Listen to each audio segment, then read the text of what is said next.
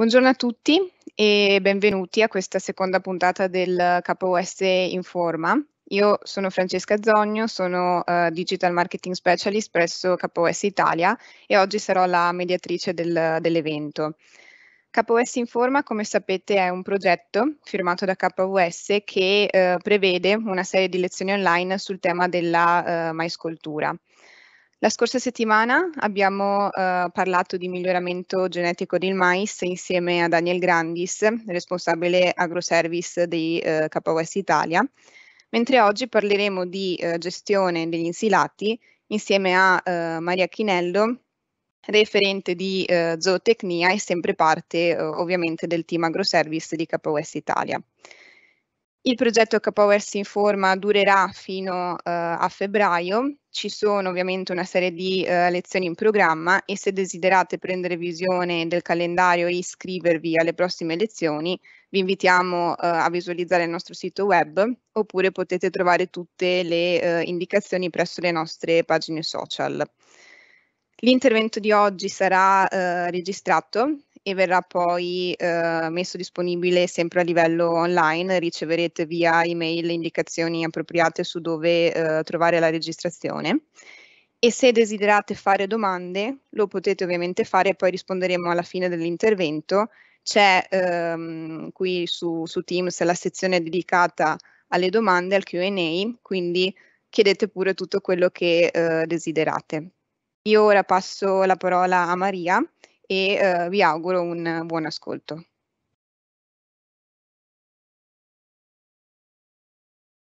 Buongiorno a tutti, eh, io sono Maria Chinello, mi ha già presentato Francesca, quindi direi che possiamo procedere con, um, con la presentazione e con insomma, questa breve spiegazione su che cos'è l'insilamento e la gestione poi dell'insilato. Mm. Prima di parlare di eh, insilamento, però, eh, prima di parlare della gestione dell'insilamento, vediamo insieme che cos'è l'insilamento. Allora, è una tecnica di conservazione eh, volta appunto a conservare foraggio fresco o preappassito.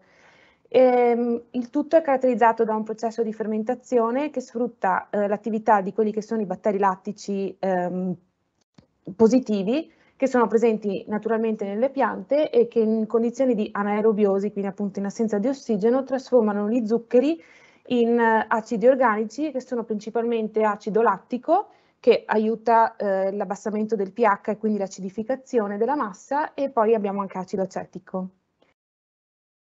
Questo processo viene effettuato perché appunto eh, va a mantenere tutta quella che è la qualità eh, nutritiva delle nostre matrici eh, fresche.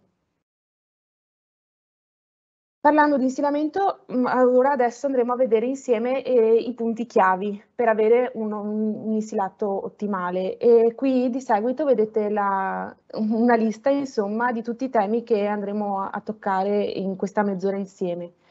Partendo dalla scelta della varietà e della tecnica culturale più appropriata, eh, l'epoca di, di, taglio e quindi la maturazione della pianta, poi in, in, più in pratica la lunghezza di trinciatura e il rompigranella, il riempimento e la gestione di, della trincea, eh, una volta aperta la trincea i corretti tempi di avanzamento e, e di gestione del fronte e infine un breve accenno su che cosa sono gli inoculi e su perché servono.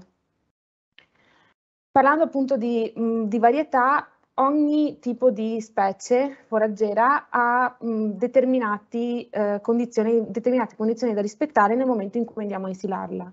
Il mais al momento è il più comune ed è anche quello più facilmente insilabile perché ha un quantitativo di zuccheri che appunto abbiamo detto servono per, la, l'acidificazione molto elevato.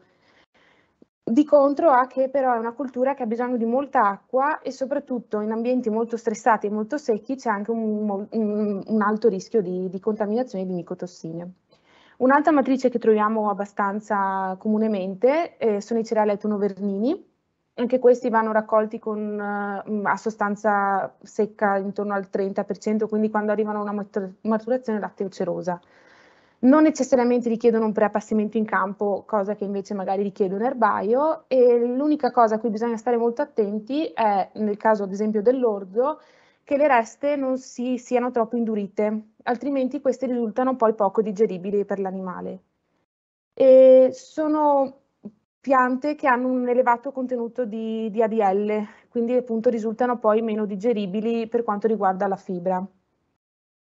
Infine una matrice che troviamo sempre di più è il sorgo. E, mm, questa è, non dico che sia nuova, però è un, un foraggio che sta ehm, apparendo negli ultimi anni.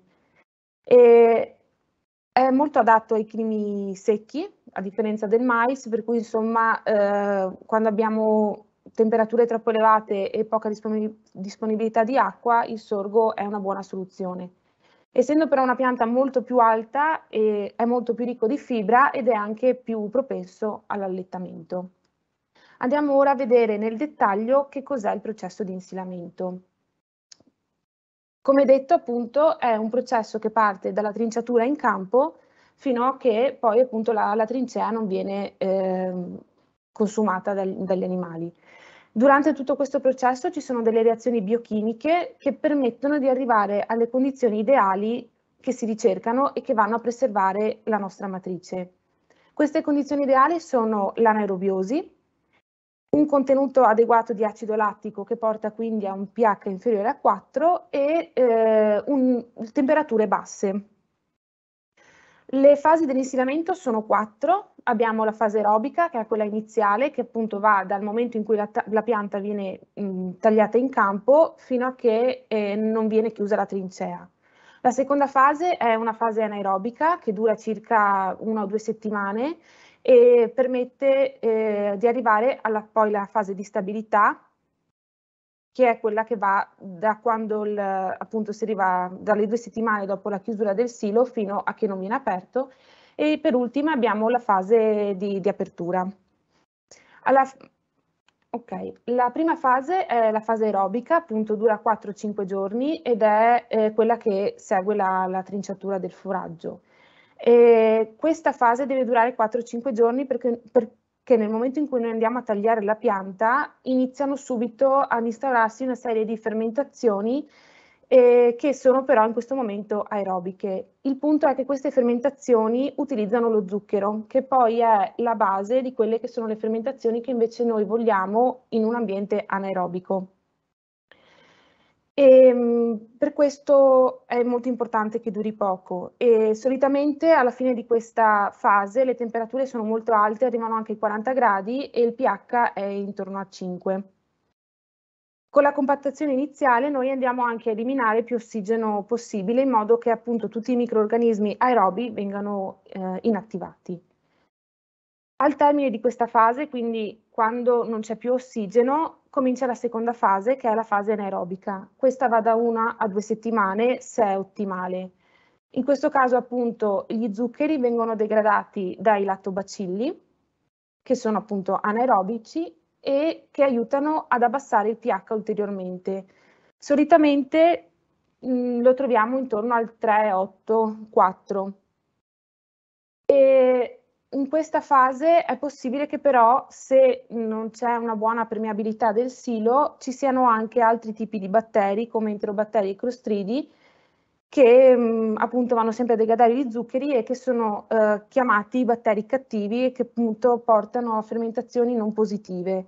E c'è da dire che però questi sono batteri che vengono inibiti da un pH sotto il 4, per cui nel momento in cui la nostra fase va bene, l'abbassamento del pH è corretto, non abbiamo questi tipi di problemi. La terza fase appunto è una fase di stabilità, qui abbiamo un pH inferiore, temperature basse e l'assenza di ossigeno. Può durare anche più di un anno, dipende sempre da quello che è l'interesse poi dell'azienda che andrà a utilizzare l'insilato. E come ultima fase c'è l'apertura, la, la, somministrazione agli animali e mm, questa è un po' mh, mm, la fase più complicata perché noi andiamo a aprire il silo e quindi l'ossigeno ricomincia ad agire sulla, sulla nostra trincea, sulla, sul nostro insilato e iniziano a mh, mm, degradarsi tutte le, le sostanze nutritive. E potrebbe essere che ci sia anche l'insorgere di muffe e lieviti che sono i maggiori responsabili del deterioramento aerobico, che è il maggiore problema legato a questa fase. È per questo molto importante gestire correttamente l'avanzamento del, della trincea e il, il metodo di destilamento. Questa è una figura che riassume l'andamento del pH, quindi appunto partiamo da un pH intorno al 6 con la nostra fase aerobica, il pH scende durante la fase fermentativa e rimane basso sotto il 4 durante la fase di stabilità. Una volta aperta la trincea, se è tutto gestito nella maniera ottimale, il pH non ha il tempo di eh, elevarsi. Se invece abbiamo eh, deterioramento aerobico, chiaramente il pH ricomincia ad alzarsi, portando poi eh, tutta una serie di conseguenze negative che, che andremo a vedere insieme. Passiamo, un po', passiamo ora alla parte pratica. Eh, la parte pratica comincia prima del riempimento della trincea. Eh, ovviamente nel momento in cui noi andiamo a creare una nuova trincea o un cumulo, eh, bisogna tenere conto di determinate cose ehm, che possono andare a influire negativamente sull'insilamento.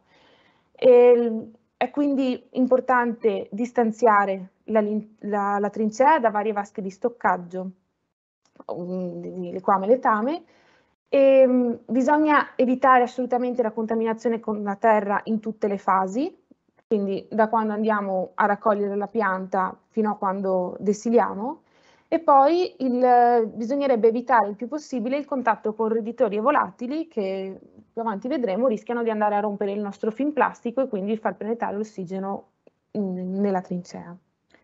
Per quanto riguarda la parte di preparazione e gestione della trincea, ora andremo a parlare di riempimento, compattazione, copertura e appesantimento del silo, lo stoccaggio e poi avanzamento del fronte, infine parliamo di deterioramento, stabilità aerobica e di tutte le criticità che, in cui possiamo incorrere.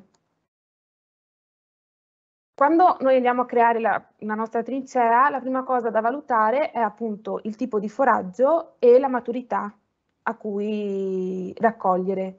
Bisogna tener conto che un contenuto di acqua troppo elevato porta a fermentazioni anomale perché i clostridi enterobatteri che ho già citato proliferano in ambienti molto umidi e acquosi. Per alcune matrici come appunto gli erbai è quindi eh, utile valutare un preappassimento in campo, eh, questo perché sono eh, matrici che faticano ad acidificare. Preappassire in campo vuol dire disidratare la pianta e quindi è un aiuto poi all'acidificazione. Dall'altra parte invece un contenuto di acqua troppo scarso, quindi sostanza secca troppo elevata, eh, va a ostacolare quella che è la compattazione. E in questo caso si può pensare appunto di magari trinciare un po' più corto in modo che sia favorita eh, comunque la compattazione. Il silo andrebbe riempito e chiuso nel minor tempo possibile, in modo appunto da limitare tutte quelle che sono le perdite dovute alla respirazione e alla presenza di ossigeno e, ehm, e anche appunto da preservare la qualità dei nutrienti. Ovviamente però un veloce riempimento non deve assolutamente andare a discapito eh, di una compattazione ottimale. Questo perché appunto la compressione è la parte fondamentale perché eh, elimina l'aria e se è ben compattato, una volta che io apro la mia trincea e vado a destilarla man mano, ehm, impedisce che l'aria penetri troppo o comunque avanzi troppo all'interno della mia trincea. Per questo è molto importante nel momento in cui vado a riempire la trincea eh, non andare troppo sopra le pareti e nel caso invece di cumuli eh, non andare mh, troppo in alto questo perché si creano delle pendenze laterali dove già è più difficile mm, mm, calpestare. Se poi abbiamo queste pendenze è praticamente impossibile, oltre al fatto che il trattore rischia anche il ribaltamento. E mm, molto legato alla compattazione, alla lunghezza di taglio, ovviamente minime, adesso siamo intorno ai 0,7 eh, centimetri fino anche 1,8 centimetri, quindi molto corto va bene perché è più, facilmente, più facile da compattare, soprattutto quando abbiamo sostanze secche più elevate. Una volta quindi riempito e compattato, il silo va ricoperto, ci sono migliaia di film plastici in commercio e mm, adesso negli ultimi, negli ultimi anni troviamo anche appunto la barriera ossigeno, quindi insomma ognuno può scegliere quello che più preferisce. E, ehm, molto importante sarebbe, eh, come si può vedere nella seconda figura, quando noi andiamo a riempire la trincea, o meglio prima di riempirla, posizionare un telo anche um, che copre le pareti. Questo perché si è visto che crea un maggiore isolamento, mh, maggiore permeabilità all'aria e soprattutto se appunto le pareti sono un po' vecchie, quindi abbiamo magari dei crepi, e, eccetera, la, la massa è più isolata. Dopodiché, una volta chiuso, eh, deve essere applicato eh, sopra la, la, trincea un peso, un la pressione minima deve essere intorno ai 150 kg per metro quadro e questo perché appunto sempre per il discorso eh, quando andiamo ad aprire, se c'è il peso, se la massa è ben appesantita, l'aria fa sempre più eh, difficoltà ad entrare. I pesi sono di diversi tipi, c'è chi usa le piastrelle, chi le ghiaia, chi copre di terra, quindi anche qua c'è molta scelta. L'unica cosa è che tante volte troviamo i pneumatici che però non garantiscono la, la distribuzione omogenea e soprattutto non, non, non garantiscono l'appesantimento minimo necessario. Quindi dopo che abbiamo chiuso la nostra trincea adeguatamente appesantita, si passa alla fase di stoccaggio. Molto importante anche questa perché, eh, scusate, perché ehm, se noi andiamo a aprire troppo presto la trincea rischiamo che tutte le fermentazioni non siano state apportate eh, a conclusione, per cui rischiamo di trovare ancora temperature alte e un pH non ottimale. Quindi minimo i due mesi, 40-60 giorni. Dopo la nostra fase di stoccaggio, quindi andiamo ad aprire la trincea e iniziamo a consumarla. Eh, nel momento in cui noi andiamo a aprire la trincea sarebbe bene pensare anche a un metodo per tenere coperto il fronte che può essere semplicemente il telo svolazzante che alzo nel momento in cui vado a fare il prelievo e poi riabbasso oppure anche eh, una tettoia. Questo perché appunto eh, protegge la trincea dall'acqua, della pioggia, ma soprattutto dai raggi del sole che favoriscono il surriscaldamento e il deterioramento della massa. E questa è un po' la frase critica perché appunto eh, dessilando noi andiamo a aumentare la superficie esposta all'aria e quindi acceleriamo quello che è il deterioramento. Un'accortezza sarebbe eh, prediligere una, una, superficie di taglio netto usando la fresa dessilatrice e rinnovare il fronte il più possibile, il più possibile velocemente. Se noi ad esempio usiamo la benna o un destilamento manuale, eh, rischiamo che ehm, smu si smuova anche tutta la parte dietro a quello che è il nostro prelievo. Questo porta appunto a uno scompattamento del, del fronte e a una penetrazione dell'aria anche fino a un metro, un metro e mezzo nella trincea. Se invece noi appunto garantiamo, oltre al taglio netto anche una buona velocità di avanzamento, non dovremo avere problemi. Con buona velocità di avanzamento si intende maggiore di 15 cm al giorno in inverno e invece maggiore di 20-25 cm di giorno in estate. Per ultimo, il deterioramento aerobico, eh, una serie di eh, attività, mh, è dovuto a una serie di attività microbiche aerobiche che vanno a compromettere la qualità nutrizionale è dato principalmente dai lieviti, questo perché i lieviti sono aerobi facoltativi e rimangono in uno stato latente durante tutta la, durante tutta la conservazione. Nel momento in cui però noi apriamo la trincea e quindi facciamo sì che l'ossigeno ricominci, ricominci ad agire, questi iniziano a proliferare e sono appunto i primi che determinano quindi l'inizio di tutte le attività respiratorie dei microorganismi. Cominciando a lavorare, creano di nuovo degli ambienti eh, favorevoli a tutta una serie di altri microorganismi, tra cui le muffe. Queste sono quelle più eh, visibili, perché ovviamente si vede la muffa, ma bisogna tener conto che sotto la muffa solitamente c'è tutta una parte molto più mh, mm, grande, di, deteriorata, che però non è, non è così visibile. E di solito la parte alta, quella a contatto con il film, è la più esposta a deterioramento e all'increscere anche di muffe, proprio perché è la parte che ovviamente è, meno compressa. E, ehm, parlando di deterioramento aerobico, parliamo anche di stabilità eh, è un po', diciamo, vanno in concomitanza, eh, la stabilità si misura in ore ed è il tempo necessario perché all'interno dell'insilato si verificano dei cambiamenti di temperatura nel pH. La temperatura chiaramente è molto più misurabile, molto più facilmente misurabile rispetto al pH ed è per questo che bisognerebbe tenere monitorata mh, la trincea Le temperature in estate non dovrebbero superare i 35 gradi, invece in inverno i 25. Ovviamente eh, parlo di temperature anche così diverse, quindi 10 gradi di differenza, perché in estate le temperature sono molto più alte, quindi è normale che la nostra trincea sia più calda.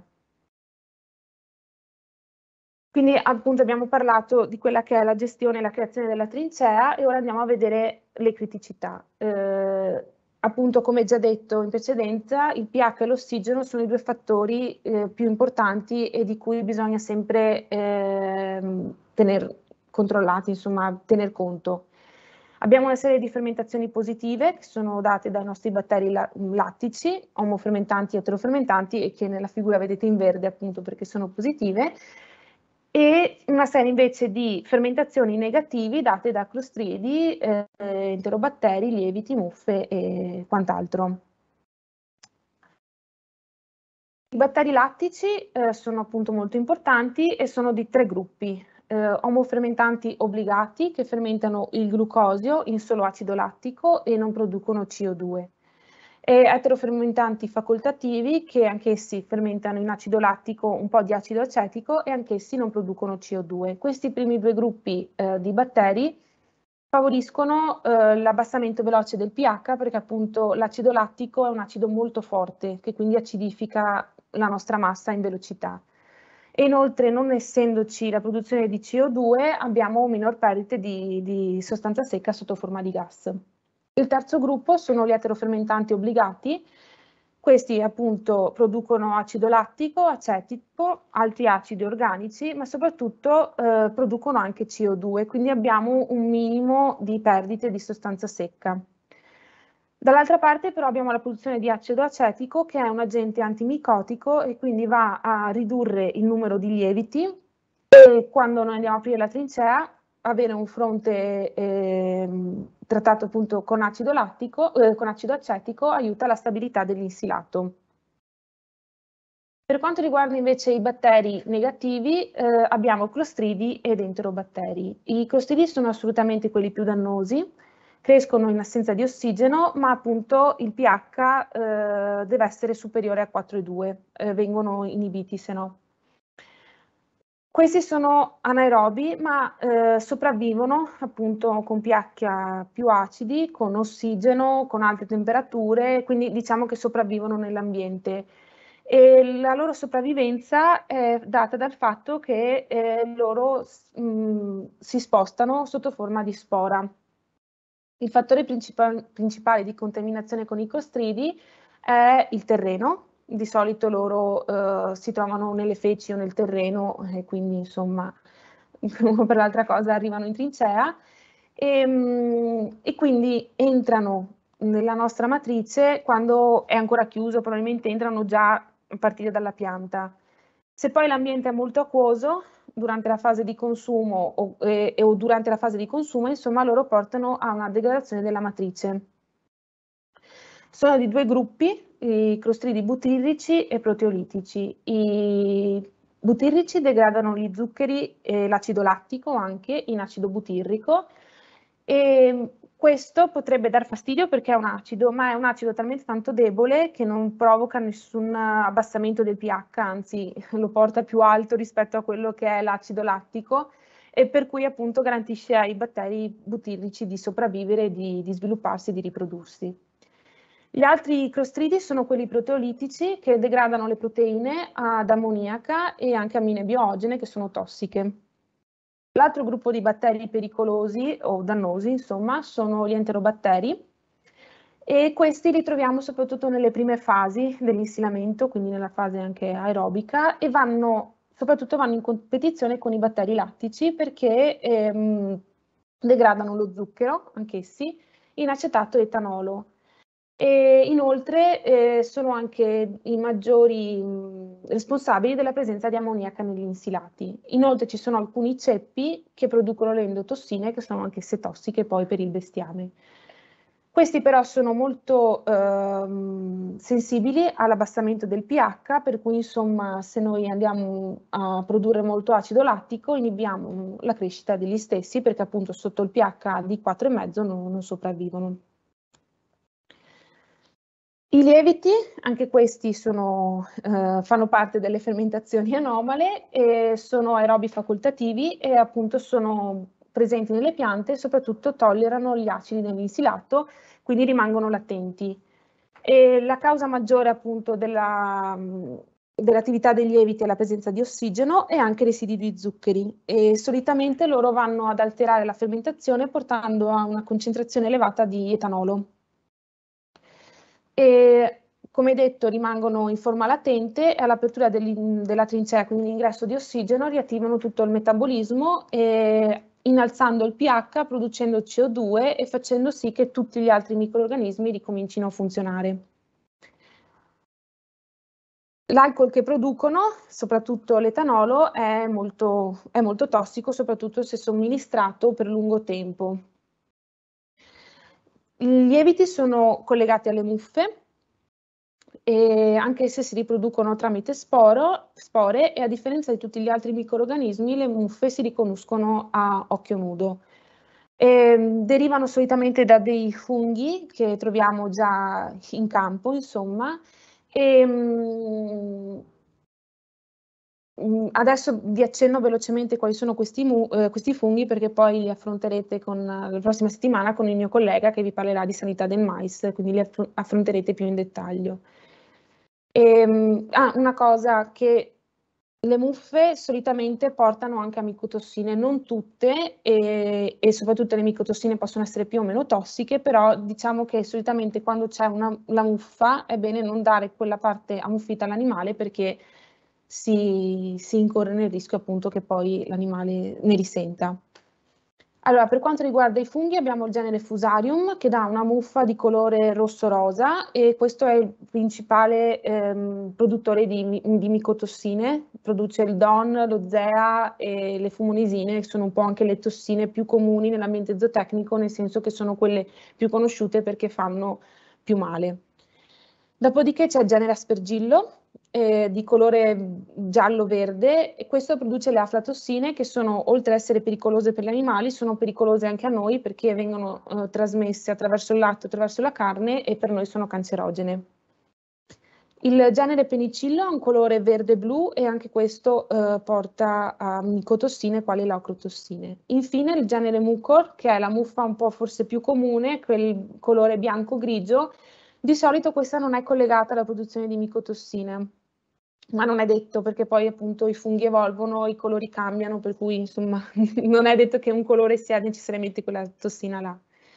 E, ehm, di questo c'è da dire che comunque dà fastidio agli animali perché essendo una muffa porta immunodepressione e oltretutto invece va anche a generare gravi alterazioni nell'insilato rendendolo poi anche comunque poco appetibile. Queste sono un po' di immagini eh, di quando appunto troviamo le muffe o dell'attività dei lieviti e, mh, mm, nella nostra trincea, appunto vedete eh, come si sviluppano, come poi comunque si vedono le muffe a, a occhio nudo. Bene, allora dato che è molto importante la buona riuscita dell'insilato, se non si è sicuri di poterla garantire, eh, si può pensare all'utilizzo di inoculi. Vi spiego appunto che cosa sono. Beh, allora gli inoculi sono dei batteri lattici eh, naturali, nel senso che appunto sono batteri che comunque troviamo nella, nella matrice insilata.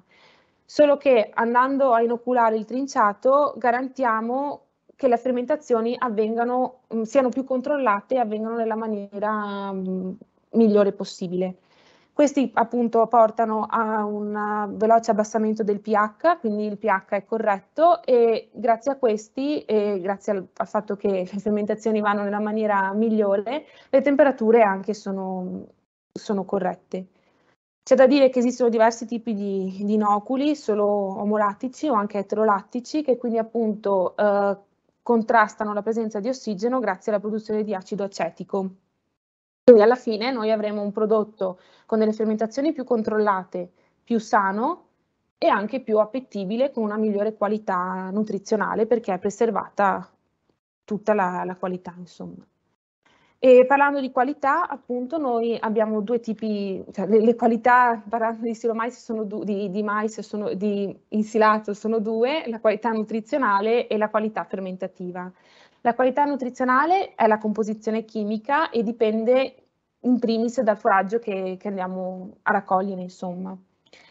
I parametri principali sono la sostanza secca, che è la prima valutazione da fare, tenendo conto che a parte i problemi che abbiamo visto che può portare, eh, l'acqua no, non apporta energia.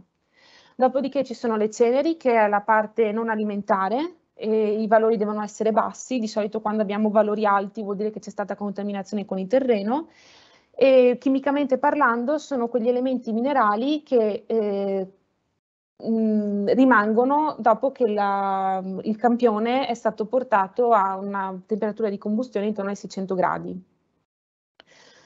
Il tenore proteico eh, o la proteina grezza, insomma, è data dalla moltiplicazione del contenuto di azoto per un coefficiente di 6,25.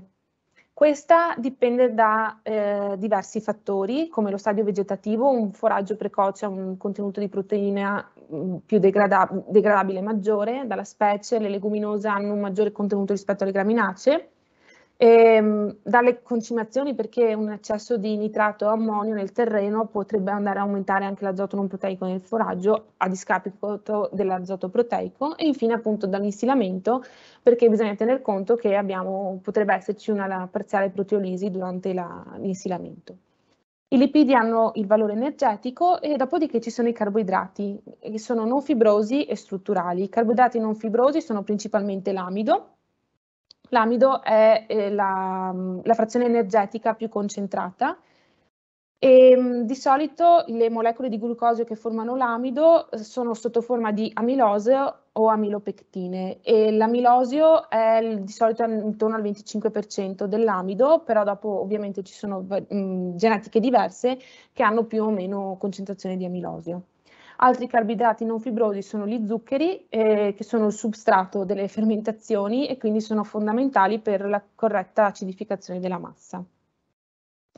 Per quanto riguarda i carboidrati strutturali, ovvero la fibra, eh, sono i carboidrati che troviamo nella parete cellulare. Le componenti della fibra sono l'NDF, l'ADF e l'ADL. Queste tre sigle sono dovute al, all'analisi chimica che si esegue per determinarle. L'NDF è composta da emicellulosa, cellulosa e lignina e mm, appunto chimicamente parlando si tratta di quella parte di fibra che detersa con un detergente neutro eh, rimane. Questo perché questo detergente va a sciogliere tutti gli altri eh, componenti come gli zuccheri, gli amidi, eccetera. Poi c'è l'ADF che è composta da cellulosa e lignina, ADF perché sarebbe la fibra acido detersa quindi appunto il detergente che andiamo a usare è a pH acido e scioglie, le, solubilizza l'emicellulosa. E infine c'è la lignina, che è la parte di fibra indegradabile e solitamente si isola la DF con l'acido solforico, in modo appunto da, da sciogliere la cellulosa. La lignina è collegata al discorso di digeribilità della fibra, dovrebbe essere più bassa possibile e la lignina dovrebbe essere più bassa possibile, mentre la digeribilità è data da una percentuale, più è alta migliore è. E, mm, è, diciamo che è legata alla maturazione della pianta, appunto perché più la pianta matura, più lignifica e quindi eh, la fibra è sempre più strutturata e meno utilizzabile dagli animali. Per quanto invece riguarda la qualità fermentativa, i parametri che la, che la caratterizzano sono appunto il pH e poi tutti gli acidi organici, quindi tutti i prodotti della fermentazione. Il pH è il grado di acidità dell'insilato, più è basso, eh, scusate, sì, più è basso, più è alto il contenuto di acido lattico e mm, migliore è il nostro prodotto. L'acido lattico, quindi appunto è il principale prodotto della fermentazione, è un acido molto forte ed è l'acido più importante per, per, garantire il corretto abbassamento del pH. Poi abbiamo appunto l'acido acetico, ehm, anche questo deriva dalla degradazione degli zuccheri e ehm, solitamente è presente, però bisogna tener conto che se i valori sono troppo elevati vuol dire che le fermentazioni procedono a rilento però appunto una buona presenza di questo acido, soprattutto per il fronte, è positiva. A seconda del rapporto che c'è tra l'acido lattico o l'acido acetico, noi siamo in grado di capire se il gruppo predominante di, dei batteri lattici è quello omolattico o l'eterolattico. Dopodiché abbiamo altri due acidi solitamente, che è il propionico, che è un acido debole e presente in tracce, e poi l'acido butirrico. Anche questo deve essere presente in tracce e, e soprattutto è importante perché ci dice se le nostre fermentazioni, cioè se ci sono fermentazioni a carico dei clostridi per cui insomma un elevato contenuto di acido butirrico è in genere allarme, un, un indice di allarme. Altri due prodotti che solitamente si va a misurare con un'analisi, eh, un'analisi chimica, insomma, sono l'azoto ammoniacale e l'etanolo. L'azoto ammoniacale è legato al, all'ammoniaca, diciamo che eh, deve essere intorno al 10% dell'azoto totale, eh, perché se il valore di ammoniaca è più alto vuol dire che c'è stata una degradazione delle proteine e, e quindi presenza di clostridi o enterobatteri. L'etanolo è anch'esso un prodotto delle fermentazioni e um, è normale che anche questo appunto parametro ci sia, ma come l'ammoniaca non deve essere troppo elevato, altrimenti vuol dire che probabilmente c'è stata un'entrata di aria per cui hanno um, agito i lieviti e, ehm, e quindi appunto la fermentazione non è andata a buon fine. Mm, concludo appunto mm, in, dicendo che è molto importante appunto valutare la, la trincea e soprattutto che cosa abbiamo all'interno della nostra trincea.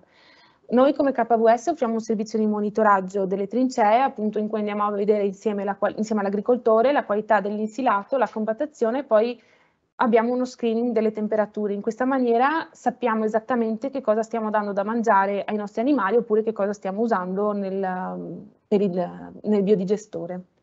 Io ho terminato, grazie per, l'attenzione, se ci sono domande comunque lascio la parola a Francesca.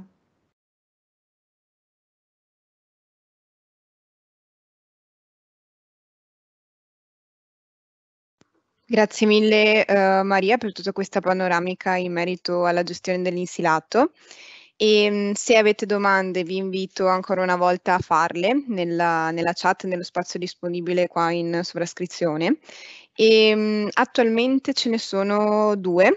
E, um, la prima è se impiego più giorni a chiudere uh, la trincea, come posso fare per essere più uh, efficiente? Ok, allora diciamo che il problema maggiore è legato al fatto che eh, mettendoci più giorni vuol dire che di notte non lavoriamo, quindi lasciamo la, la trincea esposta all'aria. E, ehm, comunque dopo, il giorno dopo noi riprocediamo a compattare, per cui è un, un problema che si può controllare, mettiamola così. Però una buona accortezza potrebbe essere quella di coprire appunto con un telo semplicemente appoggiato la trincea in modo da eh, sfavorire anche poi quella che è l'ossidazione vera e propria del prodotto. Perfetto, grazie mille. La seconda domanda eh, invece è, quando ho livelli di eh, ammoniaca elevati, come capisco qual è eh, la causa? Eh, ok, allora diciamo che le cause principali, appunto, come detto, sono i clostridi e gli enterobatteri. E, ehm, mh, bisognerebbe fare un'analisi chimica, nel momento in cui noi vediamo che è elevato anche l'acido butirrico, ovviamente la causa sono, sono i clostridi. E, ehm, senza fare analisi chimica si può andare a naso, perché ovviamente quando l'odore è molto sgradevole, quasi sì, mm, non, cioè non, dovrebbe, non ha quell'odore da lievito, mettiamola così, eh, che dovrebbe avere l'insilato, ehm, un po' acidulo, insomma, ma invece c'è un odore più ehm, amarognolo, allora probabilmente appunto sono i clostridi. Comunque fare l'analisi chimica è sempre la, la, scelta migliore perché dà anche il grado di, di contaminazione che c'è nell'insilato. Perfetto, grazie ancora Maria per le risposte e per uh, l'intervento, grazie uh, a tutti coloro che sono in ascolto per la partecipazione E ricordo che ci sono altre lezioni in programma, il progetto KOS Informa finirà infatti a febbraio e mh, mm, ovviamente siete invitati a partecipare anche alle prossime lezioni, il calendario è disponibile nel nostro sito web e trovate tutte le indicazioni anche nelle nostre piattaforme social e mh, mm, sia nel sito web che nelle piattaforme social ovviamente c'è anche il link per uh, la registrazione. E, mh, mm, ringrazio tutti voi ancora una volta, vi auguro um, una buona giornata e ci vediamo uh, durante i prossimi incontri.